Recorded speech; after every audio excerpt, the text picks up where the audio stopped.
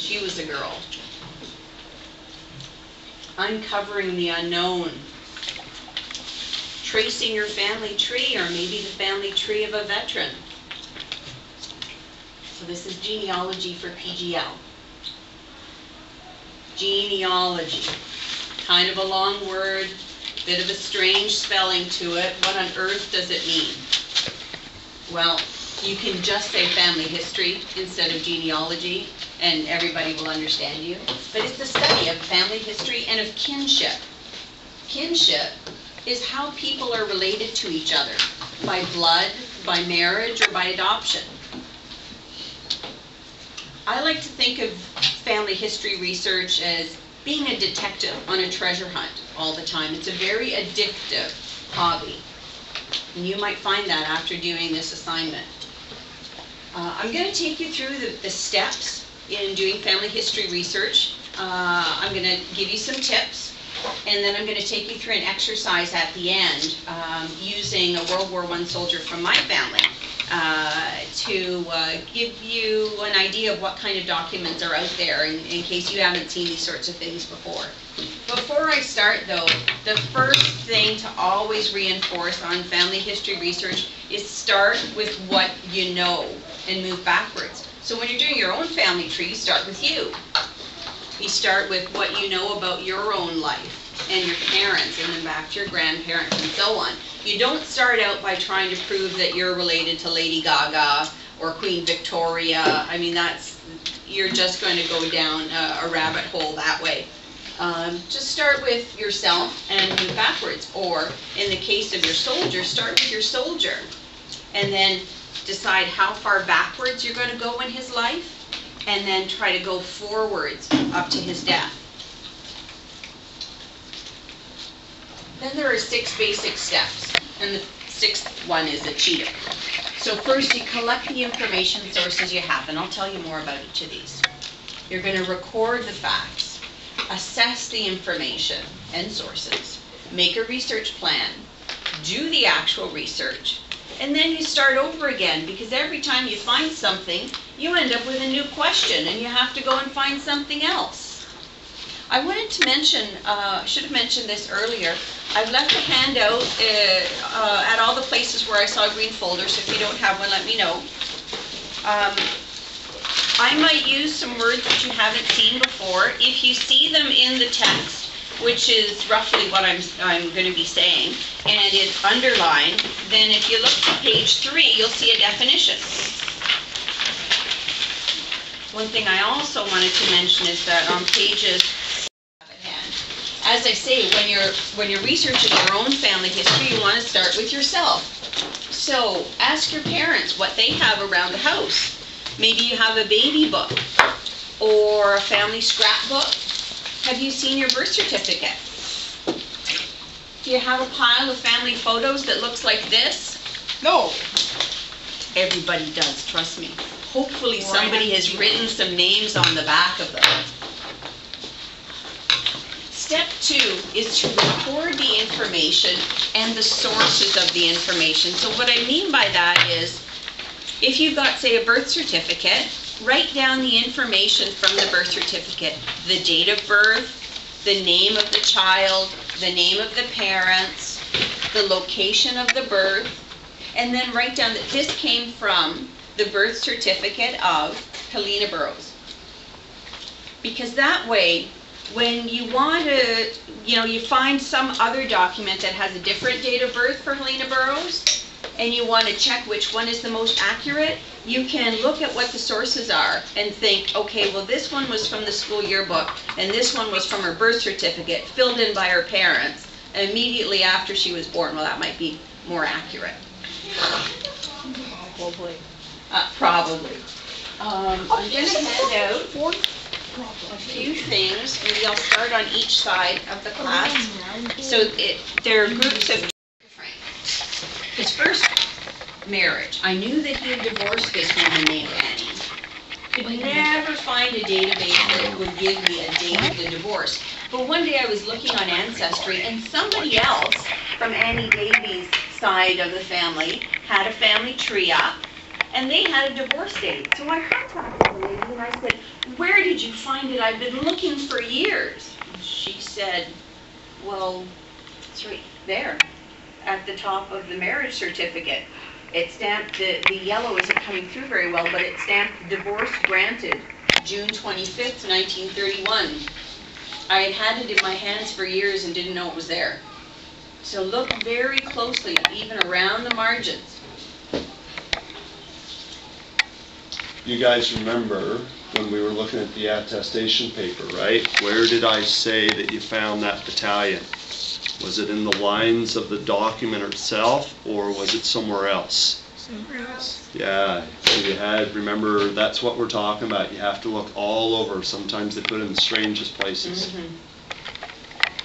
Keep in mind that the spelling of surnames, family names, often changes for a lot of reasons. Um, For example, the soldier that Lena is looking at, uh, his surname is Bate, which is a little less common than Bates. I bet she's gonna find records somewhere that have his name written as Bates. My last name is Bates. Pardon me? My last name is Bates. E- Exactly. And you could have a cousin named Bate. We, we had friends named Mathesons, and I assumed they were English. I was surprised to find out they're Ukrainian. Uh, but a grandfather had come to Canada with a name like mm, Mathuchuk, and he decided, "Ah, too complicated. I'm going to call us Mathesons, and they're Mathesons to this day. Now strangely living in England. So names change. Um, sometimes an S falls off of Burroughs. An O falls off of O'Reilly. The Perry family, the Italian Perry family in my hometown, changed their name to Perry with a Y to look English. You'll find a lot of people named Smith that aren't as English as they think they are. There were blacksmiths everywhere, so pretty hmm. much every culture has a surname that would translate into English as Smith. And so someone that was Ferraro in Italy might have come into Toronto and become Smith. Someone who was Kovalchuk in the Ukraine may have come and changed his name to Smith here. So think about that. If you can imagine ways that your soldier's name could be misspelled, look that way, and you're, and you're likely to find them. Did anybody see that on uh, Ancestry, when we went to ancestry.ca last week? When we were looking at the census forms? Was there anyone who got a different spelling on their census Yeah. forms? Yeah, I had Okay. Middle name. yeah, It's an A or it's an ER. Yeah. And another thing to think about is, 150 years ago, even 100 years ago, people didn't spell as consistently as we do. I mean, you know, I grew up doing spelling drills. This is the only way to spell because. But that wasn't the way that Shakespeare wrote. I'm sure if you looked at his work, you would find several different spellings of a simple word like because. Go ahead. Um, my cousin Miriam has an extremely thick book of Shakespeare. I have one of those too. It's a lot of fun. Challenge yourself and try reading it. The sonnets are beautiful and they're short. They're easy to tackle. Uh, Another tip I would have when you're writing down information from your sources is to choose a standard date format. You're gonna find something written 5, 6, 13. Is that the 5th of June, 1913? Is it May 6th, 2013? Well, you may not be able to figure it out just from the document. So, to the best of your knowledge, use the consistent uh, method of writing five, like the, the day, uh, the date in numbers, the month in letters, and then the full four digits of the year. You guys are used to writing the year in four digits, but when I grew up, nobody seemed to realize that the 21st century was coming. And so we just wrote 65, 72, leaving off that 19. It caused all sorts of computer problems. Yes, sir. Uh, wouldn't it just be easier to write the two num, to write the two first numbers, like the, like the date number and then the month number, and then write the whole year? It can work. The thing is that between England, Canada, and the United States, we have different orders for the day and the month. So if you have um, an early, an early day of the month, something that's before 12, you may not be able to 12, to tell which is the month. If you see a 13, you know that that can't be a month, it's got to be the day. But if it's 5, 6, 2013, do you know which is the month? Is it May or is it June? No. So when you're writing your stuff down, always write it the same way. And in some of your sources, you may have to check other pieces of the puzzle to figure out whether that was, in this example, May or June. Yes, can I help you? Um, well, in Canada, it's more common, like most people write it, um, so say, so for today, they put ten oh nine, and then thirteen, so that's what most people do. I think that's, that's more of an American way of, uh, of doing it. And then the European way, I think, is month, uh, sorry, no, year, month, and day. Across the world, it varies. So you may have to think about, where does this document come from? What's, okay, this is an American document. Go and search American date formats, and that will tell you what's the most likely interpretation for those numbers that you're looking at. Like I say, it's gonna vary from place to place.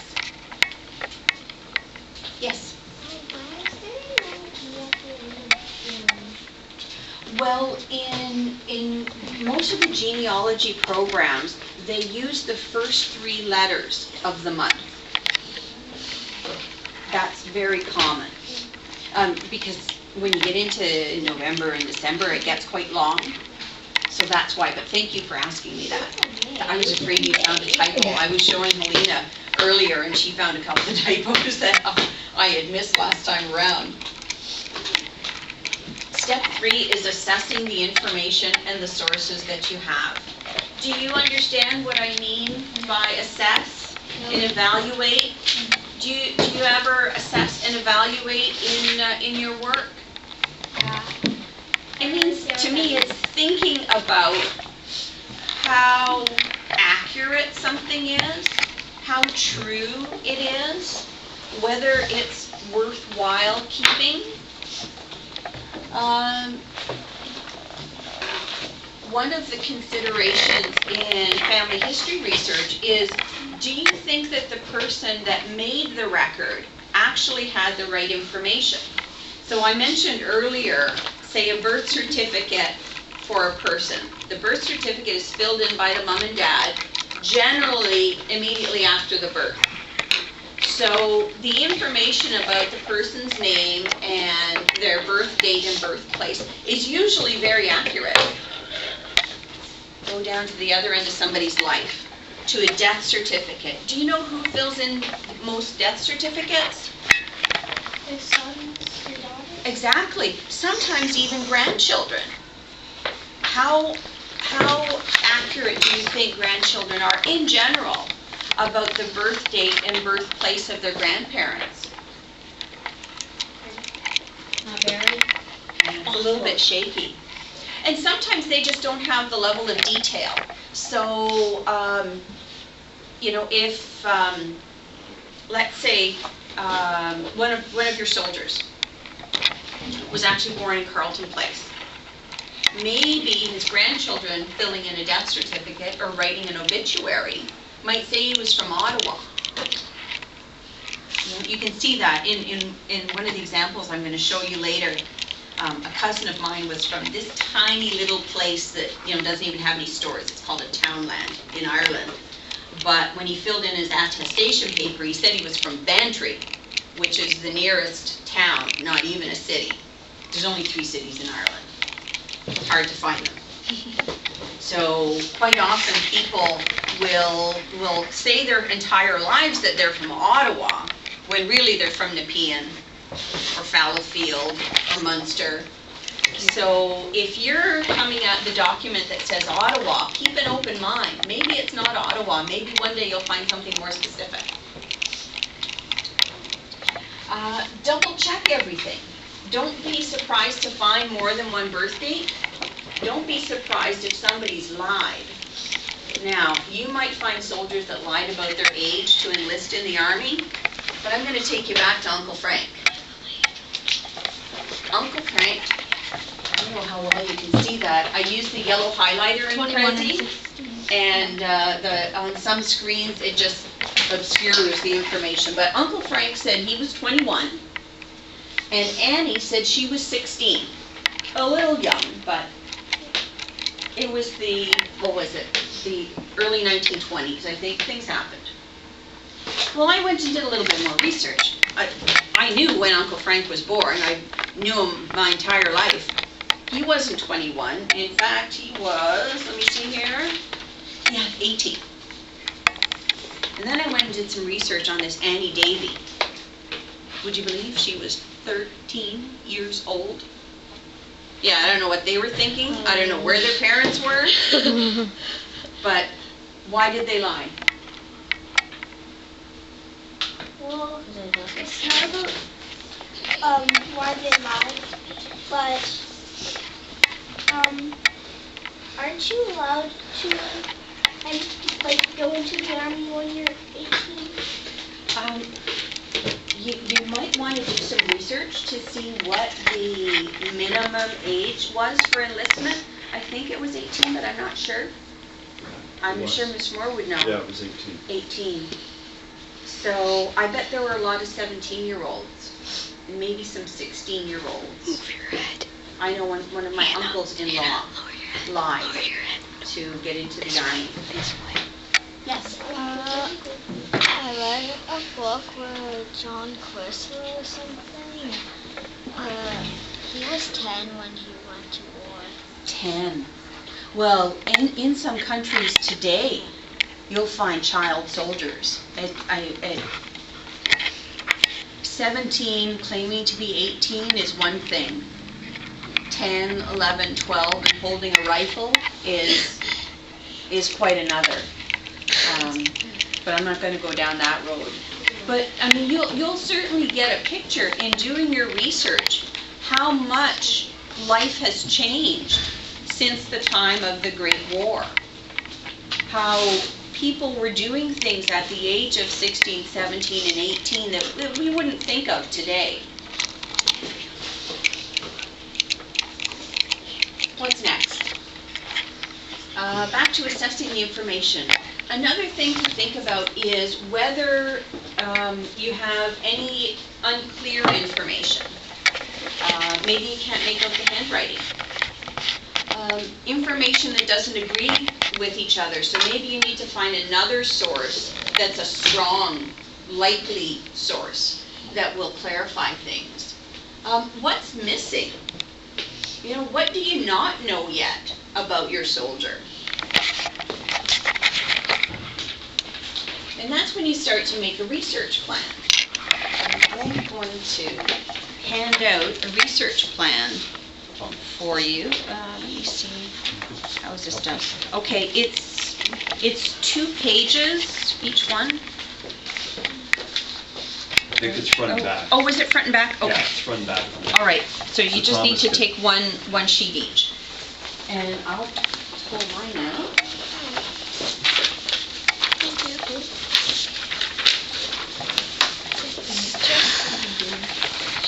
Hey, I got one with the crunch. There we go. She got one French and that.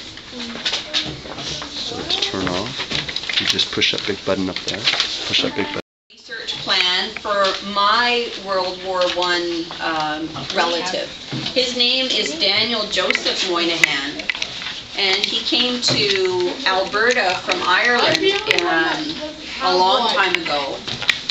The first thing I found out about Daniel Joseph was his attestation paper. So I was imagining going back to when all I had was the attestation paper. A research plan asks you, what do I want to know? And you just have to scribble it in, it's nothing fancy.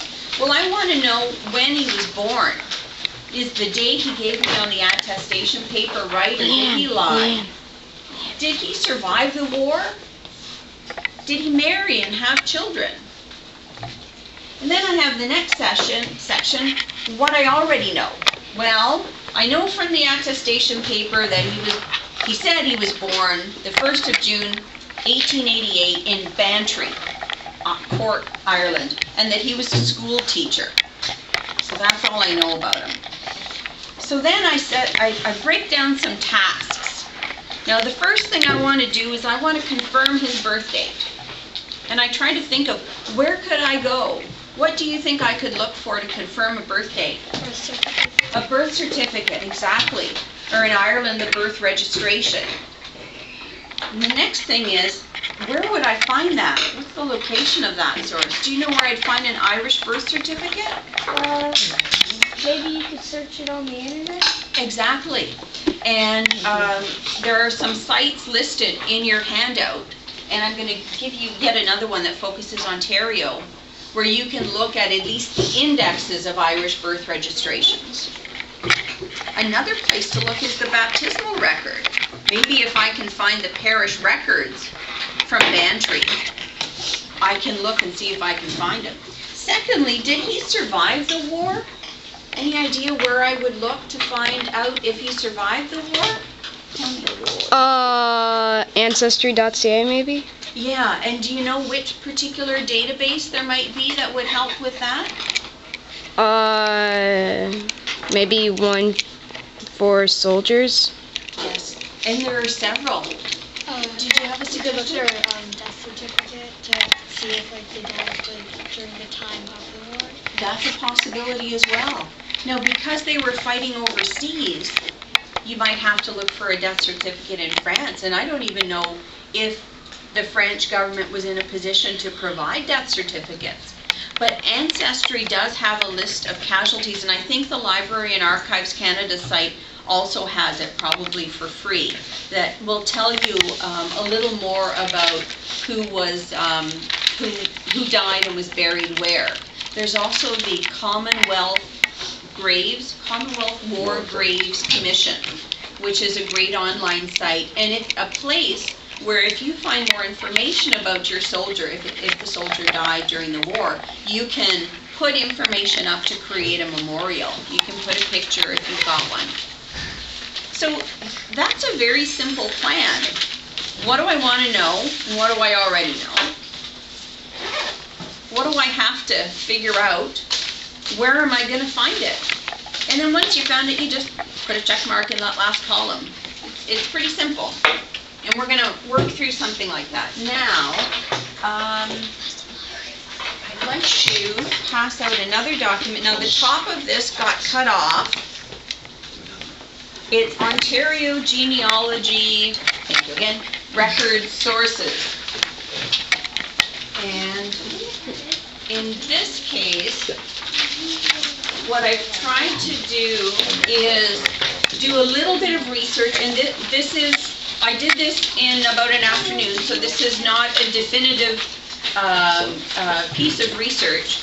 If you find new things, please go in and add them.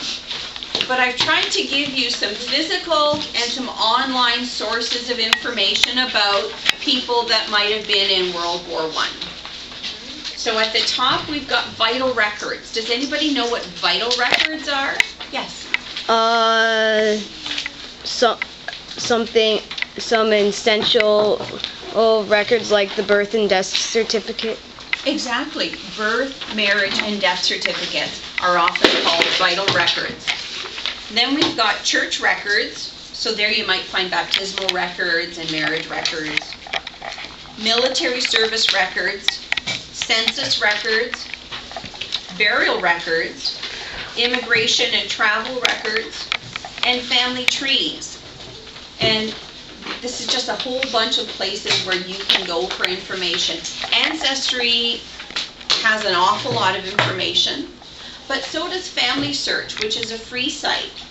So feel free when you're at home and, and uh, working on your project to go to Family Search and see what you can find. There are um, a number of things there, like some of the early Ontario births um, and uh, uh, uh, births, deaths. Uh, they've got some baptisms as well. But I have to tell you, you're gonna run into a little bit of a wall here on the vital records. Because of privacy considerations, I can't get your birth certificate online.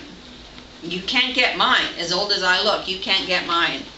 All you'll be able to find online is births from 1869, when the record keeping started, to 1912. You'll find marriages up until 1927. So that's about 10 years after the war. You might find a lot of your soldiers in there. And then deaths up to 1937. So if your soldier survived 20 years after the war, you won't be able to find the death certificate. But head down to burial records and get some ideas for other places where you can look. There are a number of services right now where volunteers are going out to cemeteries and snapping pictures. One called Billion Graves has an iPhone app where it uses the GPS on your phone to um, to tell exactly where this headstone is. And it snaps the picture of it. That goes into a list, and somebody else logs into Billion Graves, and they say, okay, what needs to be transcribed? Oh, look, Leanne's just been to the cemetery and she's put in 10 pictures. Well, I'm going to call up those pictures and I'm going to transcribe those records. Joe Blow, John Smith, write down all the information so that the next person that comes along that goes into a Billion Graves will be able to see the headstone picture and the information that was on it, and they'll be able to run a search to find John Smith or William Bate. Um, that's not the only one. Find a Grave is uh, quite good and has quite a lot of Ontario records. Uh, there are a couple of others as well, and um, I, I know your, your chances are, are not too bad of, uh, of finding one of your soldiers that way. Uh, let me see. Think about family trees as well. Now, somebody might have already researched your soldier, and you might find that on Ancestry. But you might also find um, something on paper, um, uh, maybe a family uh, history book that was written by somebody else on your family. Uh, where is it here? Up, up in the church records um, um, box. I've got the names of a couple of the genealogical societies. Uh, uh, have I got any? Yeah, these are all genealogical societies, but they're also historical societies in the local area that hang on to stuff like family histories that were done of a prominent family in the area. So um, quite often you can go onto their website and find a catalog of what information they have if you go to their office. So have a look. Uh, I know that uh, um, I didn't see anything when I was trying to do Lena's project for my own amusement. um, uh, but uh, you may find your families there. So have a look at those. Now, what have we got next? Use the research plan to organize yourself. Um, in your handout, you'll also find a link to this document, which is a checklist of information sources. So it's something to get you thinking about what could I be looking for? Like I say, you'll be able to go to the handout online and click on the link and it'll take you to this. Oh, and there's the research plan that I've already talked about. Number five, this is where we finally get to the research. It's about time, eh? So there's three, three main um, ways of researching that I want to suggest to you. Interviewing, going to archives, like actually walking into a building, and searching online. So have I got interviews? Now, if you look at your handout, on page four, there are some questions that you might want to use when you're interviewing relatives about your family tree. Use a video or voice recorder and take notes. Have your list of questions ahead of time, like, you know, what did grandma study when she was at school? What kind of games did she play? Was grandpa in the military? um, ask them to have a look at the information you've already collected about your family. Or, for example, if you found a descendant of your soldier, ask them to look at what you have. They may be able to correct mistakes or add to the information that you have. Visit archives. Now, you've got to do some homework. So start start with this. Go to the links that I've given you and find out what is where. So let's say you're looking for the casualty records. Well, you'll search and you'll find those ones are online. But if you want the military file of your particular soldier, I don't think you're going to find it online. You're going to go, have to go to Library and Archives downtown, which is this building down on Wellington, um, just down from the Parliament buildings. But to be able to go there and research, you need to have um, a reader's or researcher's card. And you have to apply online a couple of days early and then go pick it up. And then you have to request the file that you want and give them time to pull it out of probably the basement of another building and bring it to you. So you can't just decide one Saturday morning you're going to go and get the record. Um, genealogy often takes more time than that. Uh, just, I have to say though, just going to library and archives and walking around the stacks in the library is fascinating. There are written genealogies, family histories of some families in uh, Canadian families there. There are also a lot of city directories. Do you guys remember phone books? Yeah. Okay. They still have phone them. Books, they're harder and harder to find, but before there were even phones, there were city directories, and they're fascinating because while the while the, the phone book might just give my name, maybe my address and my phone number, the city directory would also say what kind of work I did. So in between censuses, it's a great way to find out who was working where. You might get their the name of their company. Um, you'll also find little tidbits like how soon did they get a telephone, which is kind of fascinating, especially, you know, I, I had very poor ancestors that immigrated to Canada, and so to see them getting a phone is a sign of real achievement uh, and settlement here in Canada. Search online as well. Uh, and like I said, uh, there are a lot of links that I've given you.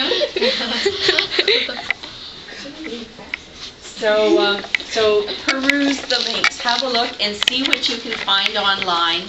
Not everything is on Ancestry, not everything costs money. Oh, one other thing about oh, So funny. Ancestry. Did you guys? Star Wars.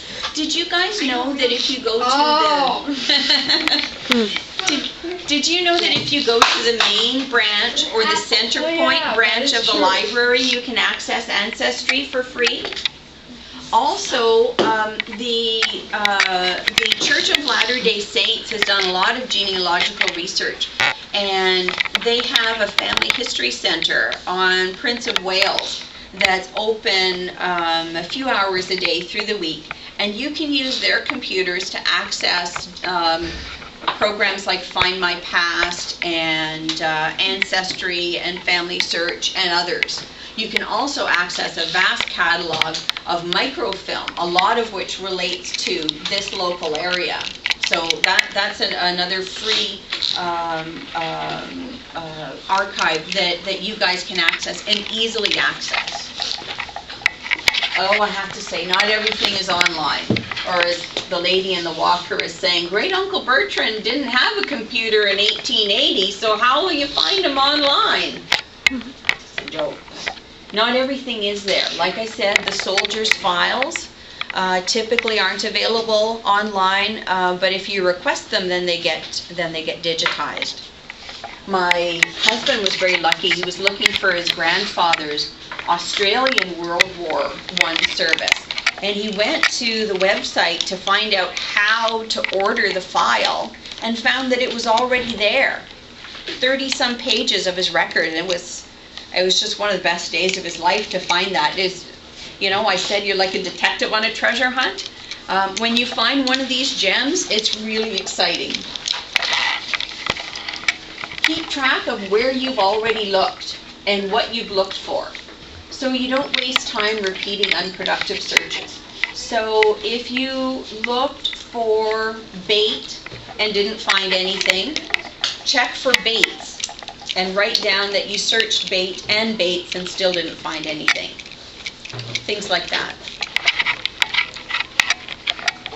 The fifth step here, as, I- as I um, alluded to earlier, once you find a little bit of information, you discover new questions and you end up needing a new research plan to start all over again. Because you've never quite finished it. Nobody has ever said everyone in the family tree has been found, everything's organized, including the photos. Ever, ever, ever has never has it been said. So a couple of tips before I finish up. Collect the facts, but don't forget the story behind them. That's how you get to know your ancestors. I'm 47 years old, and I just found out a couple of months ago that my mom used to work at a soda fountain, making banana splits and shakes and stuff. I thought she was kind of boring, but that's a really cool job. Because then you'll be able to make, sneak yourself a free drink Yeah. once in a while. Well, and that she's a professional, so she could make me a banana split today. Use timelines to sort out puzzles. Any idea what a timeline would be in the genealogical context? Basically like a number line except uh, with dates. Exactly. And I've got one for you. And the project that we're going to do, the exercise we're going to do afterwards, is to fill in a timeline. So the, the idea here in the timeline is that you're keeping track of the events in someone's life, and you're gonna give the date, but also the age the person was at that, uh, at that date. So, let's say they got married in a certain year, they were twenty-one. They enlisted in the army at a certain date, they were nineteen. Extras? You're gonna wanna write down where the event took place. The description is for any extra information, like what battalion they were in, for example. And then your information source. The information source, like I said before, is always there to remind you of whether this is good information or mm-mm information. Now, everybody got the two-sided one? On the back of the handout, I put little checklist there for you to remember what kinds of things would you want to look for in filling out someone's timeline. And I, I think that that's quite similar to the information sheet that Mr. More has given you. Before I leave talking about timelines, I have to add something else. Are we just interested in what's happening in this person's life? No. Do you know what else? Do you know what else we might want to put on there? Their children's, their parents. and Exactly. Maybe, like That's some something. of their, like maybe like an army general or something. Could Like be. the person who was leading them. Yeah. Yeah, certainly, um, do, including their family tells you things like, well, his father died when he was 15. No wonder he went to work when he was 16. You know, you start to understand people better. What else might we add? Any ideas? How about what else is going on in the world or in the local area? So for, uh, for my soldier, I was looking at when war broke out versus when he enlisted. So was he one of the early enlisters or did he wait? That tells me a little something. Um, you can look at things like when the war ended, um, when, um, when there was a particular natural disaster. You know, if there was a major fire in Hull in a particular year, you want to find out, was, was, was my person in Hull then? Could they have lost their house? Ask yourself questions like that. And um, there are, there are places that you can go. See, I wrote down one over here.